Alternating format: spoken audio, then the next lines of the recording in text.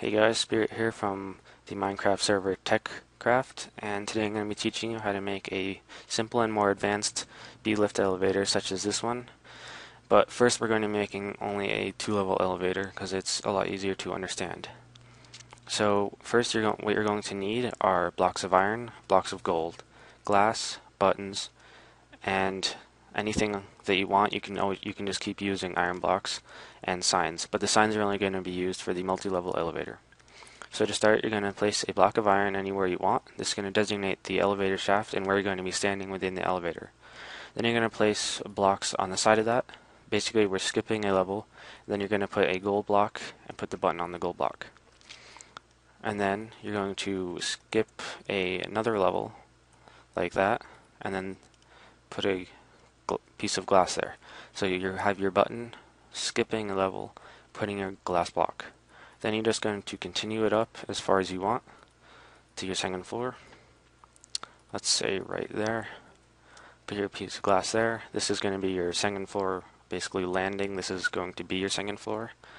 And then you're going to skip a level from that glass, put a gold block there, put a gold block there, and put your button on that skip another level. And but this time you're going to put your iron block on it.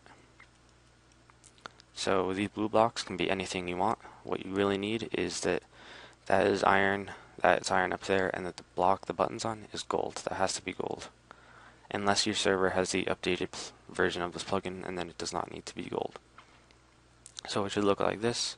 When you step in you click the button takes you up to the second floor and there you are. Now you just have to push the button again, takes you down.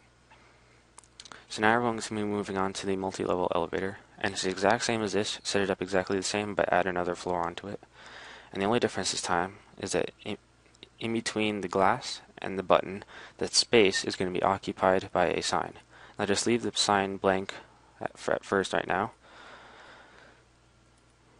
And then I like to do it at a bottom one, just simply right click it and that'll initiate the signs. Now, the top number is telling you what floor you're currently on, and the bottom one is the floor that the lift is going to take you to. So right now, it's saying that I'm on the top, I'm on floor one, and it's going to take me to the second floor. When I want to push the button, it takes me to the second floor. So now we're on the second floor, and when you right click the sign, you can choose which floor it's going to take you to. So if I want to keep going up to the third floor, I just have it set on 3, and I push the button and it takes me up to 3. Now, if I want to go right back down just to 2, just do that and go back down and it stops me at 2. Now let me just go back up to 3 to show you you can go all the way down all the way down to 4, 1 and as well you can go all the way up to 3.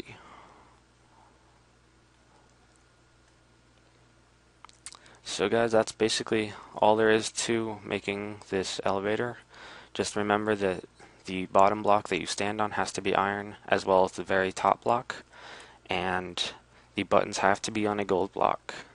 And yeah, thank you for watching this tutorial, and come check out the server if you're not already on it at techcraft.noip.info.